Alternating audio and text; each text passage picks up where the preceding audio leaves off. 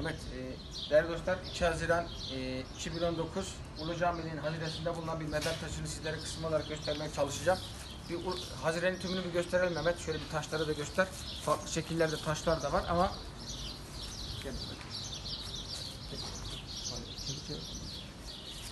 Şurada bir taş var. Şu taşı değerli dostlar sizlere okumaya çalışacağım.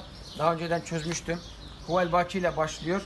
Antakya, Antakya, Kai mekamı, Antakya Kai mekamı, Esbak, Esbak, İzzetlü Talat, İzzetlü Talat, Efendinin, Efendinin Harimi, biraz daha yakına gelelim.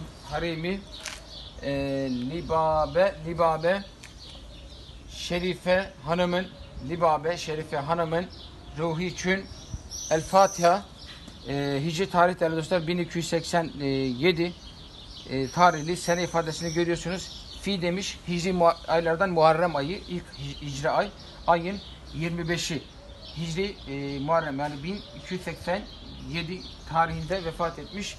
E, miladi olarak da aşağı yukarı 1870 yılında tekabül eden e, bir bayan mezar taşı, bir bayan mezarının baş taşı. E, Antakya Kaymakamı yani ona atfedilen bir taş. Yazısı, yazı türü celisülüs. Yazılar tabi siyaha boyanmış, orijinallik yok. Satırlar e, çizgilerle ayrılmış. Söyleyeceklerimiz bunlar. Gelmişken şöyle bir önemli bir hatıramızın olmasını istedik. Selam bile.